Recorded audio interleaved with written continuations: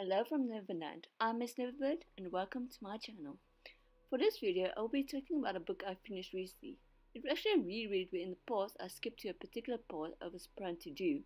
But this time, I chose to actually read and take in all parts of the story, and I did not regret this one bit. You know those times that you read the right books at the right time? Valley of Horses was such a book for me. Other cases of that happening to me include Eat, Pray, Love, which was a game changer for me, a book I reviewed called The Insightful Reader, and I'd Rather Be Reading by Anne Bogel, which I recommend to any bibliophile. As a person who loves anthropology, history, and spirituality, The Valley of Horses was quite a surprise for me when I reread it again after some time. But what a read it was! In previous readings, I was more focused on Ayla's story, but this time around I was more invested in the second protagonist's storyline, Jondalar. To my delighted surprise, I discovered that the book contained some rather prominent spiritual themes and elements in a time where early man had a strong connection to the world around them, as well as a deeper connection to the underlying forces of the Ice Age. This can be seen in their, in their respect for the earth and in their high regard for the great Earth Mother and their theologies.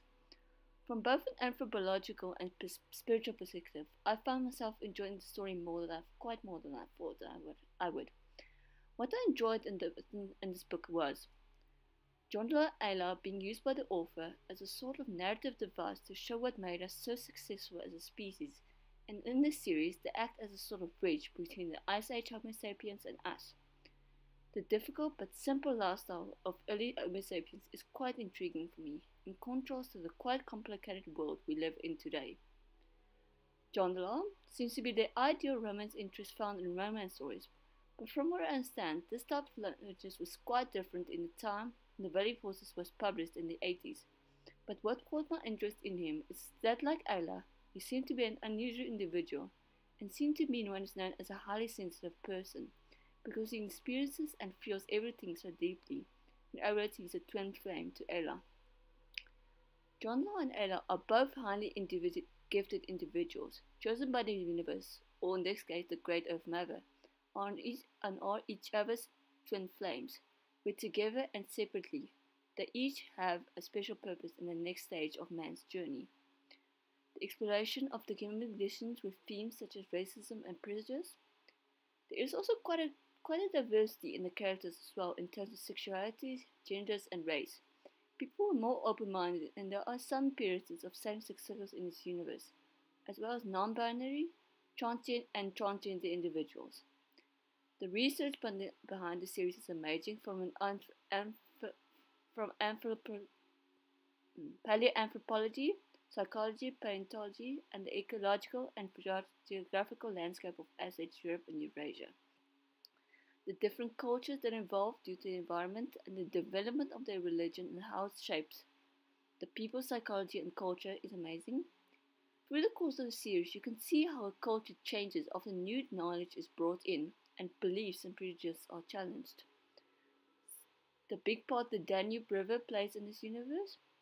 The Neanderthal plastic is also quite fascinating, especially the collective memory, but also the concept that Neanderthals can't learn new things beyond what they already know spiritual animals, which includes the cave lions and spiritual leaders. This was my take on the Earth's Children series, starting with the Valley of Horses.